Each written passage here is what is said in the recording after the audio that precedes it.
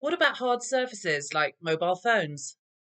We don't exactly know how much virus survives on hard surfaces, but we do know that it does. Probably the best research we have suggests that it can survive for up to 24 hours on perhaps cardboard and up to three days on hard surfaces such as metal, apart from copper, but not many of us use copper, glass and hard plastic.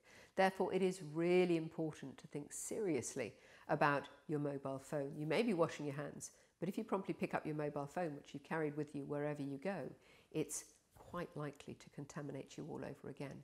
So it is very important to get into the habit of cleaning those products with something which is gentle and isn't going to do them harm.